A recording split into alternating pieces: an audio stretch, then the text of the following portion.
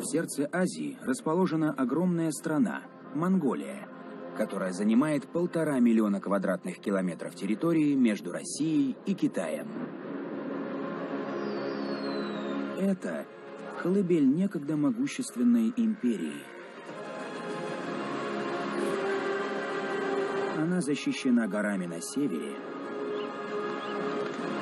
и представляет собой пустыню на юге. Здесь обитают самые выносливые виды животных.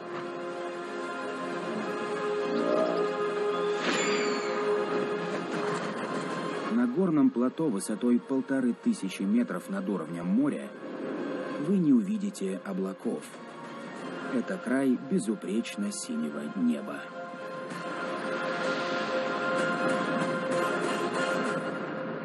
Дикая Монголия. Страна крайностей. Выжившие в пустыне. Монголия находится во власти горной системы, расположенной в тысячах километров. Гималаи создают дождевую тень, которая простирается по всему Китаю и достигает юга Монголии дождевые облака едва ли могут преодолеть барьер высотой более 9 тысяч метров. В результате более трети территории страны находится в заложниках у крупнейшей пустыни в Азии – Гоби. В переводе ее название означает «засушливое место».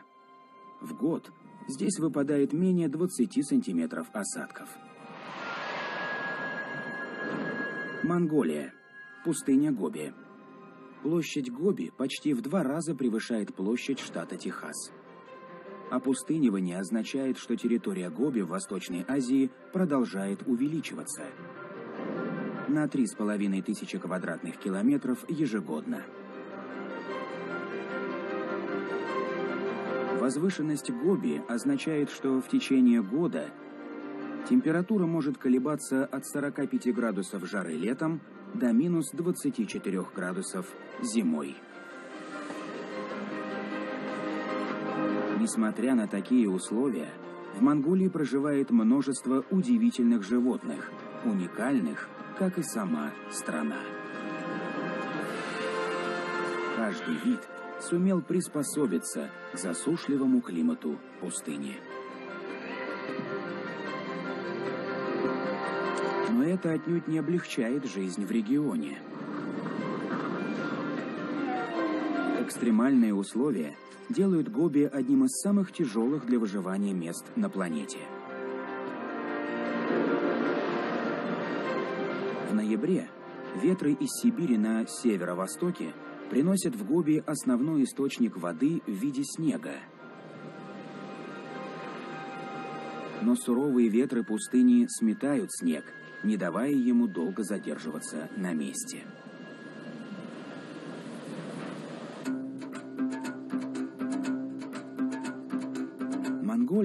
Страна кочевников. Возможно, один из самых редких представителей – двугорбый верблюд или бактриан. Летом они могут странствовать лишь от одного источника воды до другого – но зимой снег дает им больше свободы. Но и здесь не обошлось без подвоха.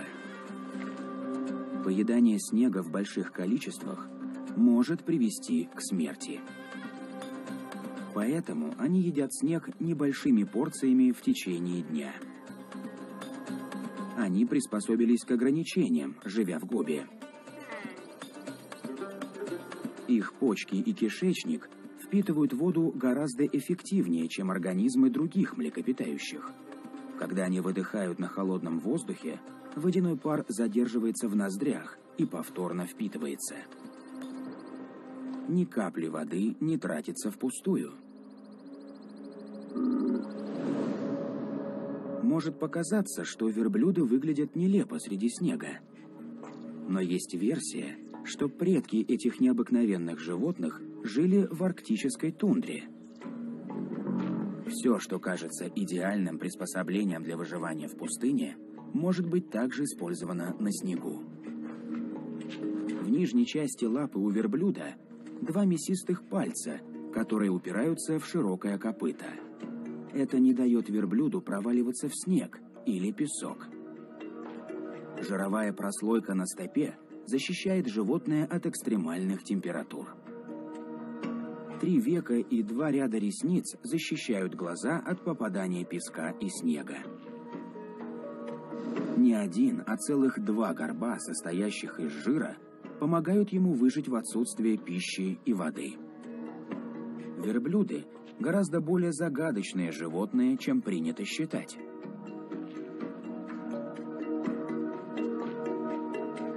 Во всем мире верблюдов называют кораблями пустыни из-за их способности преодолевать большие расстояния с ограниченными ресурсами.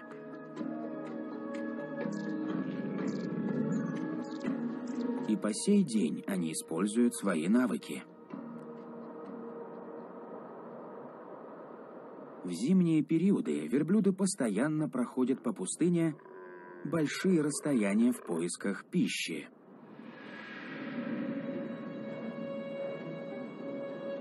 Это стадо состоит из самок и детенышей, которых ведет вожак-самец. В холодный сезон наступает любимое время для самца Бактриана.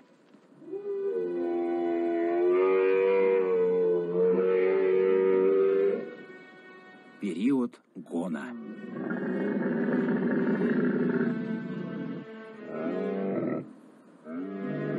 Вычурная поза этого самца – Попытка привлечь самку. Он использует хвост, чтобы распространить свой мужской запах, который также помогает отпугнуть других самцов, претендующих на его самок. Вероятно, этого будет достаточно. Бактрианы вступают в схватки лишь в крайних случаях, сберегая драгоценную энергию для того, чтобы порезвиться с самками. Со стороны самок интереса пока нет, но сезон только начинается. Совсем скоро отчаянные заигрывания дадут плоды. К концу апреля большинство самок приносит потомство. В пустыне почти наступило лето, и многие из пустынных жителей пробуждаются от зимней спячки.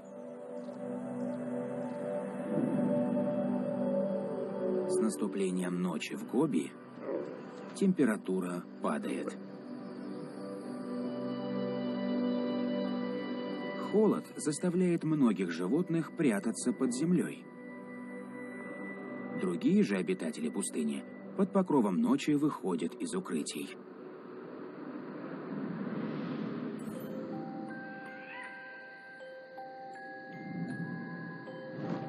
Сова пользуются темнотой для охоты.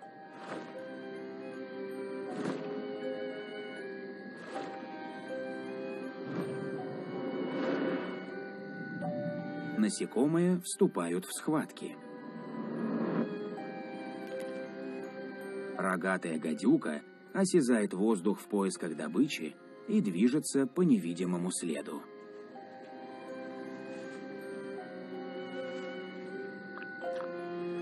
Феник рыщет в поисках объедков, оставшихся от менее осмотрительных существ. Кенгуровый прыгун использует ночь как прикрытие, чтобы избежать смерти. А каракал слизывает остатки жертвы со своих липких лап.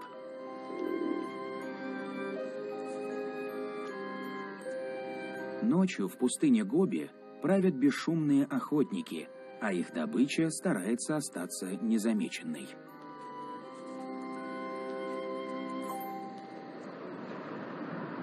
Но не все умеют охотиться одинаково хорошо. В пустыне есть по крайней мере одно существо, до сих пор не привыкшее к ужасам ночи. В это время года молодой длинноухий тушканчик проживает свои первые недели без родительской опеки. Как и большинство представителей рода, эти тушканчики живут поодиночке и ведут ночной образ жизни. Но к ночной жизни на поверхности нужно привыкнуть. Их длинные уши невероятно чувствительны к звукам. Полезное качество, когда ты окружен хищниками. Прыгучесть тоже помогает выжить. Длинноухие тушканчики настолько пугливы, что в дикой природе их встретить сложно. Но если и повезет, то показываются они лишь на несколько секунд.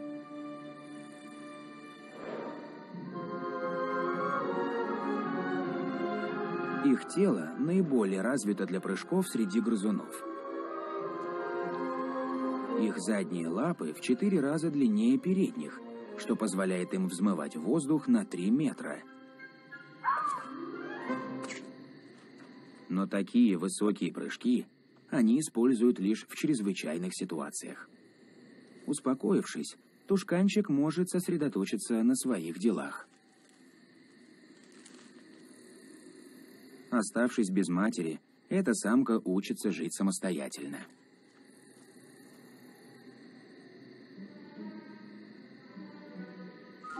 Слух у этих тушканчиков такой чуткий, что они слышат даже спящих насекомых.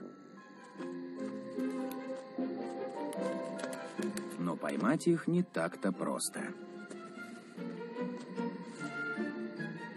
Рацион длинноухих тушканчиков почти полностью состоит из насекомых. Передвигаясь прыжками, они покрывают большие расстояния и не устают.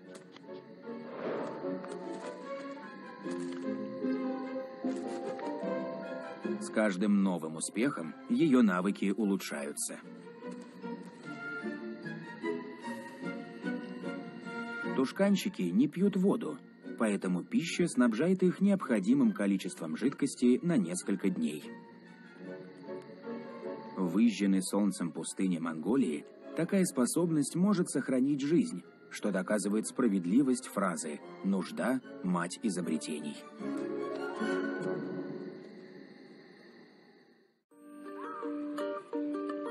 Летом в пустыне Гоби ночь длится всего несколько часов. За это время нужно успеть найти пищу. Для ушастого ежа это не проблема. Он преодолевает до 8 километров за ночь. У этого самца зверский аппетит, но выбор здесь весьма ограничен. Ушастый еж способен обходиться без пищи и воды длительное время – при необходимости он может голодать до двух месяцев. Будем надеяться, до такого не дойдет. Как и у многих видов ежей, зрение у него слабое, но этот недостаток компенсируется отличным слухом. Чтобы выжить в пустыне, ему нужны длинные уши. Они защищают от перегрева днем а ночью наделяют ежа отменным слухом, который вместе с острым обонянием делает его прекрасным охотником.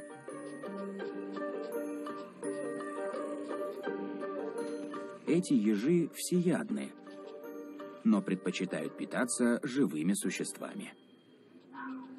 Милые с виду, эти ежи свирепые убийцы. Но у них есть соперники – пустыне живет жестокий ночной охотник.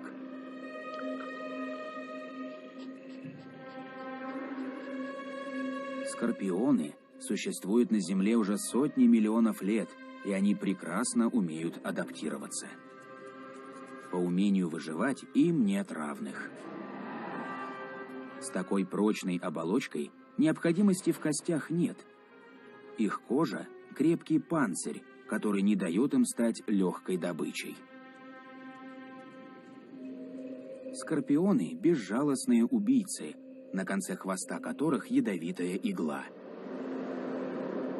Внутри располагается пара желез, выделяющих яд сильными нейротоксинами, которые парализуют и убивают жертву или животное, напавшее на него. Этот скорпион готов бороться за жизнь до конца.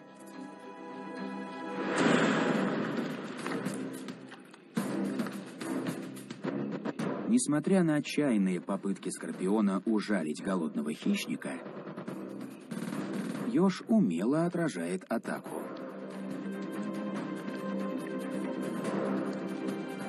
Ужин в пустыне стоит того, чтобы сражаться. Неизвестно, когда удастся поесть снова. Борьба длилась недолго. Ужин из скорпиона полон протеина. Ежу хватит этого до следующей битвы.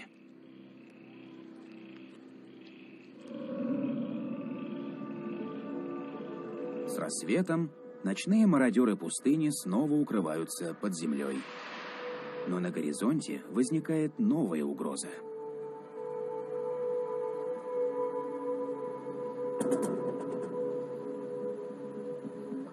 Этот пустынный обитатель остается загадкой для науки с самого момента открытия вида.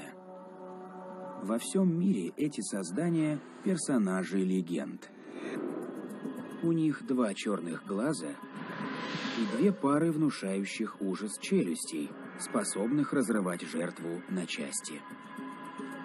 Верблюжий паук способен догнать добычу, превосходящую его по размерам, разгоняясь до 16 км в час. Это средняя скорость, с которой бежит человек. Но верблюжий паук не тот, кем кажется. Несмотря на название, он отличается от пауков – это близкий родственник скорпионов, но тем не менее он не похож ни на одно другое беспозвоночное. Они отделились от своих членистоногих собратьев 200 миллионов лет назад, образовав отдельный отряд – сальпуги, что в переводе означает «убегающие от солнца».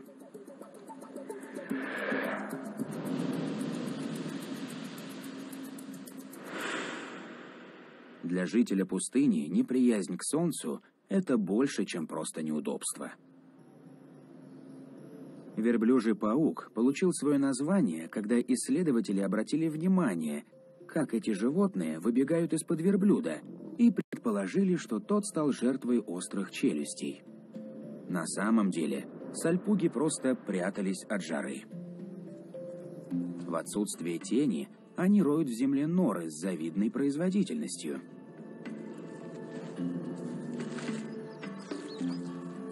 Задние ноги также используются как инструменты.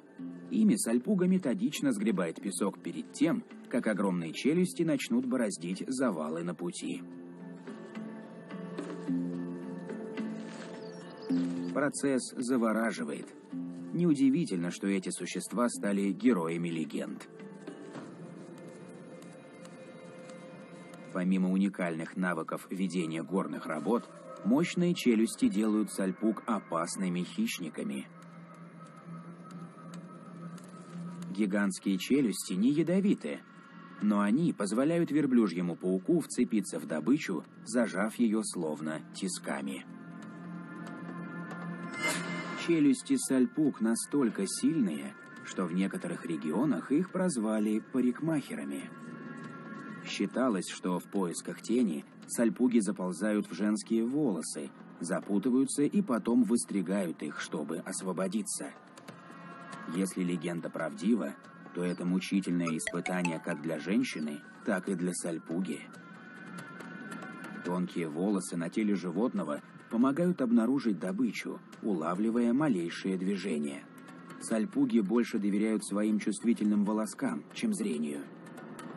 Прыткая ящерица может стать прекрасной добычей. Ящерицы не такие быстрые, как сальпуги, и крупные размеры делают их желанной добычей.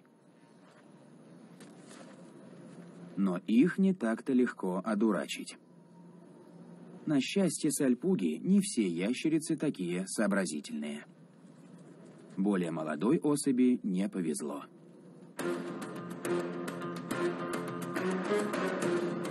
Челюсти верблюжьего паука – его главное оружие. Крепко вцепившись в жертву, Он превращает плоть в удобоваримую мякоть. Чудовищный, но важный процесс. Возможно, именно благодаря ему эти существа пользуются дурной славой.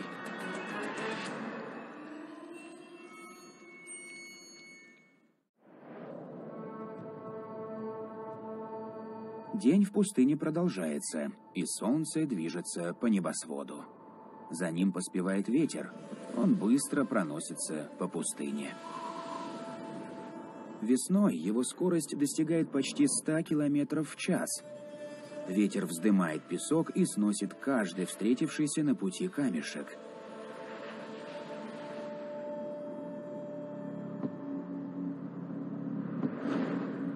Создаваемые ветром песчаные бури видны из космоса. Ветер сыграл ключевую роль в формировании ландшафта Гоби. Но в каньонах на южной окраине пустыни дело обстоит иначе.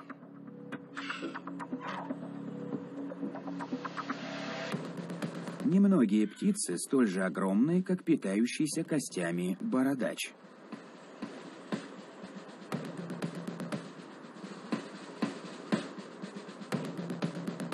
Его рацион на 80% состоит из скелетов животных.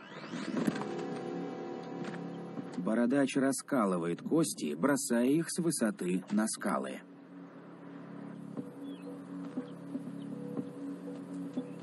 Затем он проглатывает их. Высокая кислотность желудка позволяет переварить кости всего за 24 часа. Это единственная птица в мире, которая питается преимущественно костным мозгом.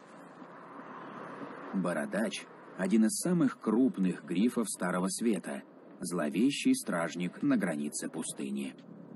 Солнце согревает Гоби, и бородач взмывает вверх на восходящих потоках теплого воздуха. С такой высоты отыскать пищу будет нетрудно. Для них Гоби лишь просторное кладбище. И с этого ракурса ясно, почему.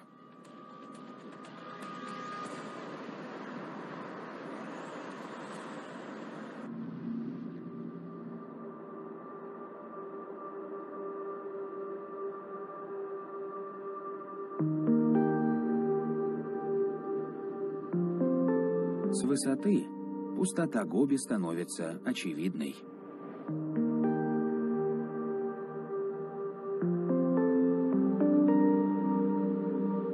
Пятую по величине пустыню мира покрывают пески. Ее размеры в 20 раз превышают размеры пустыни Мохаве в США. Виды почти всегда безупречны. Монголия известна как страна голубых небес – Здесь 250 солнечных дней в году. В трех тысячах километров отсюда дождевые облака стремятся преодолеть Гималаи высотой в 9 тысяч метров. В южной части горной цепи влажно. Облака поднимаются вверх и вынуждены сбросить свой груз. К тому времени, когда ветры достигают пустыни Гоби, влага почти полностью уходит из воздуха. Но это не значит, что Земля бесплодная.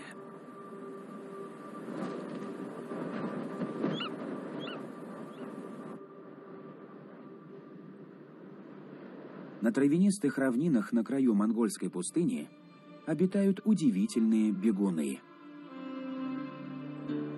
Джейран – парнокопытное из подсемейства антилоп. Их чаще ассоциируют с Африкой, чем с Востоком. Но они истинные обитатели пустынь. Они встречаются по всей Азии, от Ирана на западе до восточных границ Монголии.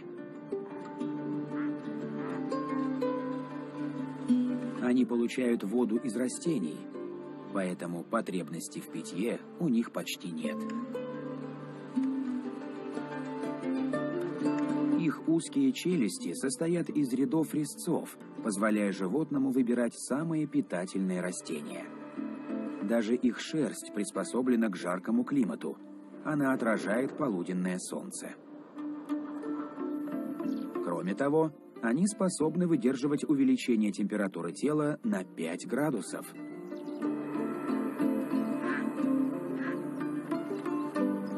Для сравнения, человек может умереть при скачке температуры на 2 градуса.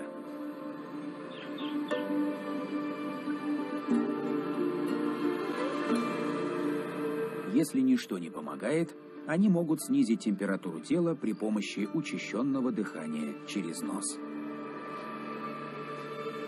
Но жара не самый страшный враг джейрана. Этот вид под угрозой вымирания. Джейраны – объект охоты волков и людей. К счастью, они быстро бегают. Они могут мчаться со скоростью почти 50 км в час. Настоящие спортсмены пустыни. Затаившиеся в траве создания – одни из самых успешных животных монгольской пустыни. Они могут вас удивить.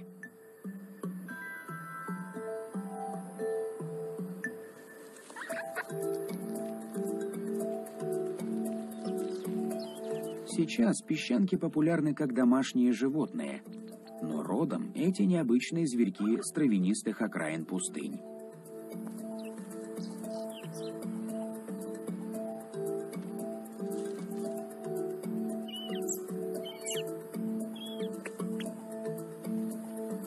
Среды обитания этих грызунов раньше называли крысами пустынь. Нелестное сравнение для этих крошечных обитателей песков.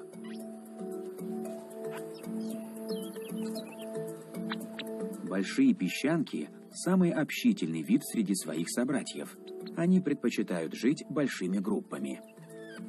Это самые крупные представители песчанковых, и потому желанный обед любого крылатого хищника. Найти здесь укрытие не так-то просто – Вместо этого песчанки пользуются особыми приемами.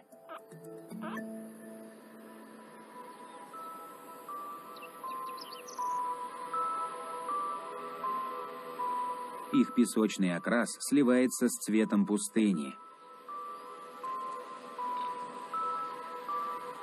Большое среднее ухо позволяет различить такие низкочастотные звуки, как зловещие взмахи крыльев хищника. Крупные выпуклые глаза увеличивают поле зрения. А кисточка на конце хвоста отвлекает внимание птицы. В крайнем случае зверек ныряет в сеть подземных нор. Туннели ведут к запасам пищи, гнездам и другим выходам. Их размеры до двух метров в глубину и до восьми метров в ширину. Сейчас путь свободен, и этот самец может продолжить бесконечное занятие по запасанию пищи. И набить брюхо.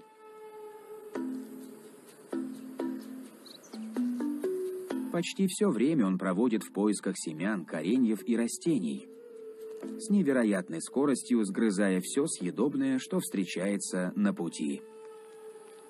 А остальное тащит в нору.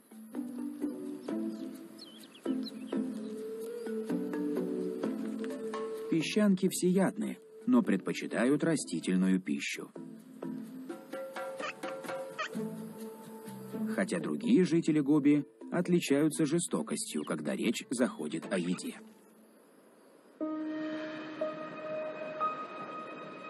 В пустыне Монголии обитают настоящие варвары. Роющие осы – Эта группа ос роет гнездо. Или, скорее, могилу. Роющие осы охотятся на других насекомых. Эта самка крепко сжимает в своих лапах муху, парализованную ядом, но все еще живую. Оса достраивает туннель к своей норе, где она зароет свою добычу, чтобы затем ее заживо съели личинки. Но кто-то встал на ее пути. Пока осы не было дома, в норе поселилась ящурка, и осам она не рада. Эта ящерица выталкивает осу головой. Но оса упряма. Она не сдастся, пока не выдворит незваного гостя.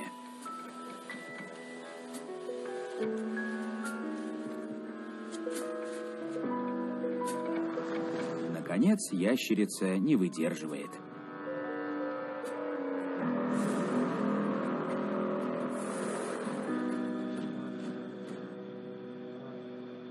Ящерицам живется нелегко в пустыне Гоби. Атака со стороны ос еще не главная беда. Теперь на охоту выходит стая азиатских кекликов. Эти птицы получили свое название из-за характерного клича. Их любовь к пению делает их своеобразными стражами пустыни. Большую часть дня они заняты поисками пищи среди песков Гоби. Светло-коричневый окрас позволяет не выделяться на фоне пустыни. На счастье ящериц, взрослые особи вегетарианцы и питаются преимущественно листьями, семенами и травами, растущими здесь круглый год. Они также едят песок и мелкие камни, которые перетирают пищу в мускульном желудке птицы. А в Гоби недостатка в песке нет. В Гоби наступило лето. Температура воздуха может достигать 40 градусов. Это земля крайностей. Температура может изменяться на 30 градусов в течение одного дня. Каждый обитатель этой пустыни должен быть полностью приспособлен к выживанию в суровой среде.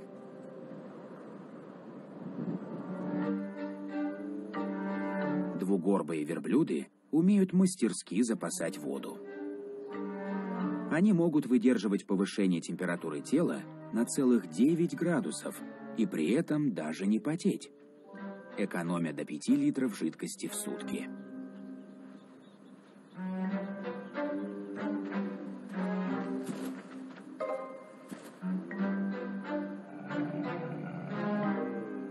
Это означает, что верблюжий навоз гораздо более сухой, чем коровий.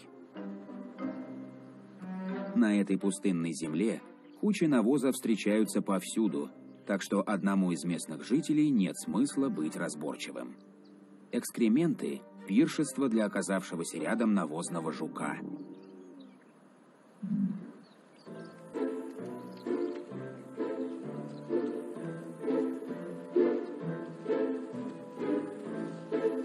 Способность перемещать шарики из навоза в 50 раз тяжелее собственного тела делает этих крошечных жуков сильнейшими животными на планете для их размеров.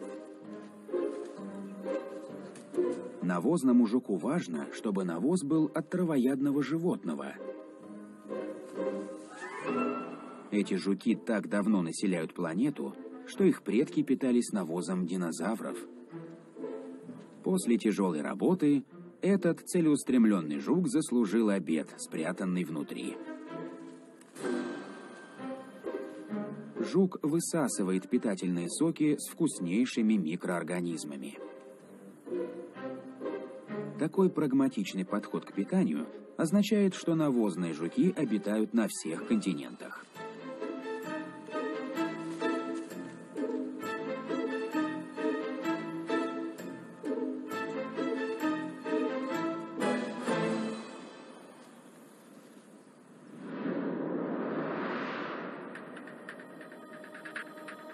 Сожалению, кулан не такой распространенный вид, как навозный жук.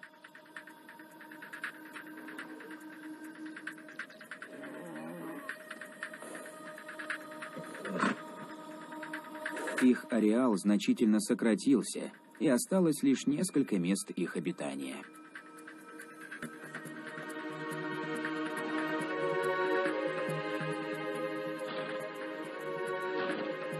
Кулан – вид из семейства лошадиных. Монгольский кулан – самый распространенный из всех подвидов. Он живет на Земле уже более 40 тысяч лет.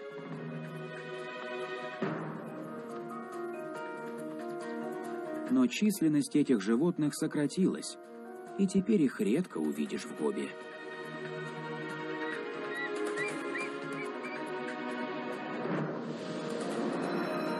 Шести с половиной тысячах километров отсюда, на Ближнем Востоке, численность их собратьев была восстановлена. Уланы теперь встречаются в Иордании. Они питаются скудной растительностью региона. Поиски воды – постоянная проблема.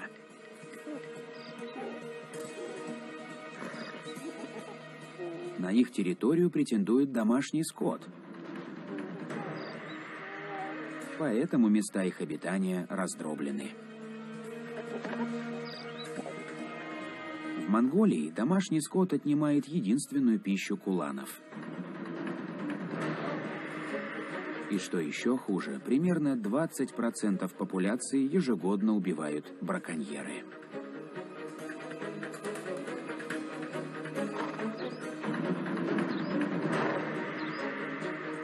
Выносливое тело обеспечивало Кулану успешное выживание в прошлом – но для выживания сегодня необходимы усилия со стороны людей.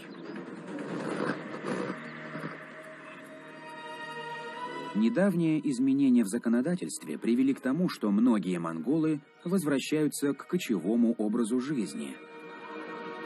Если люди найдут способ взаимодействовать с природой и пользоваться ресурсами вместе, а не отнимать их, то в Гоби найдется место для всех.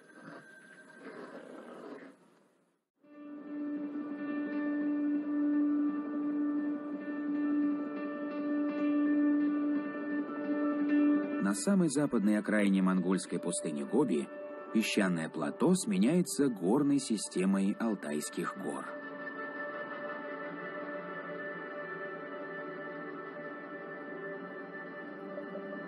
Монголия, пустыня Гоби. Горы служат также естественной границей между Монголией и тремя другими государствами – Россией на севере, Китаем на юге и Казахстаном на западе. Центральноазиатский горный козел прекрасно чувствует себя в горах. Эти крупные дикие козлы живут в стаде до 20 особей. Они созданы для того, чтобы жить высоко в горах. Их копыта выполняют функцию присосок, поэтому у горных козлов всегда есть устойчивая опора вне зависимости от уклона – Плотное телосложение означает, что у них большой объем легких, а это жизненно важно, чтобы карабкаться по крутым скалам. На таких высотах на окраине Гоби зима наступает рано. Для центральноазиатского горного козла это хорошая новость.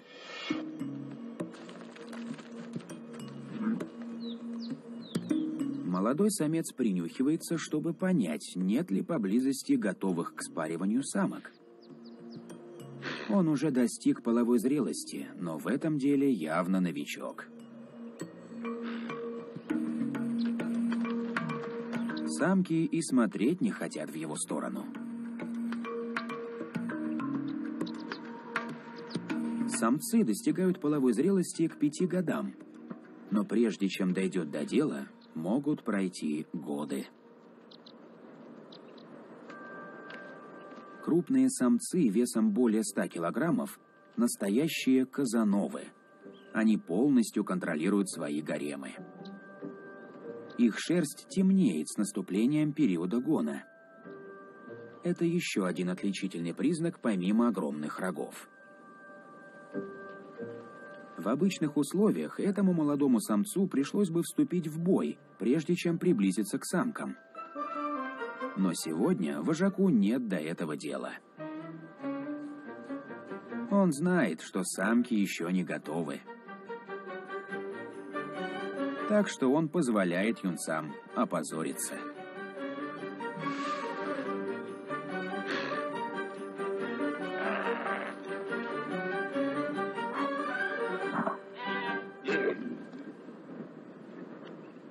Пройдет еще несколько недель, прежде чем самки будут готовы к спариванию с главными претендентами. А пока стадо в сборе для одного из самых главных событий года. Большую часть года половозрелые самцы живут поодиночке или с другими самцами и встречаются с самками во время гона. Козел трется рогами о куст, показывая свое превосходство и раззадоривая себя.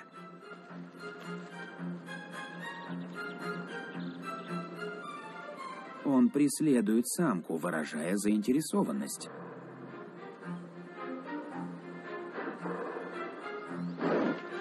Пробуя воздух на вкус, он определяет, плодовита ли самка. Самец старается изо всех сил, и у него появляется шанс – Марафона не вышло, но и это считается.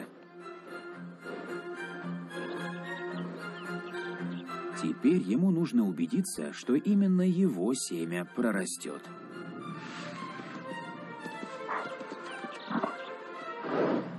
Прогоняя других ухажеров, он заботится о том, чтобы в следующем поколении козлов были и его потомки.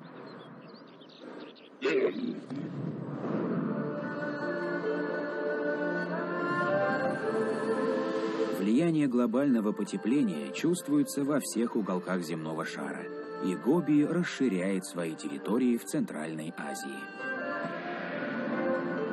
Алтайские горы – единственная граница между пустыней Гоби и Западом, но на юг Гоби распространяется без преград.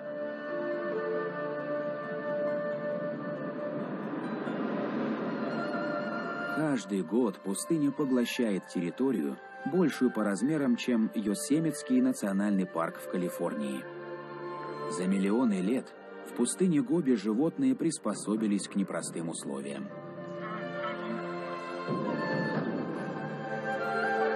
Привыкли к жизни почти без воды и с экстремальными перепадами температур.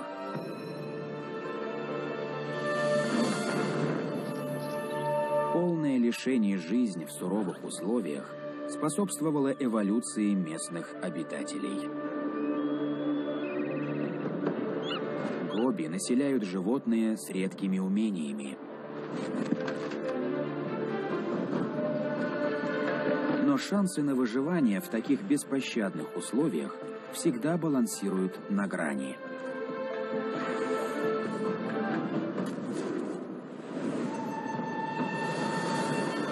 Монголия страна кочевников. Успех людей зависит от природы, и теперь у них есть общая цель. При бережном отношении Гоби останется приютом для удивительных существ, сражающихся за выживание под бескрайним синим небом. Программа озвучена на студии «Велес». Текст читал Александр Васильев.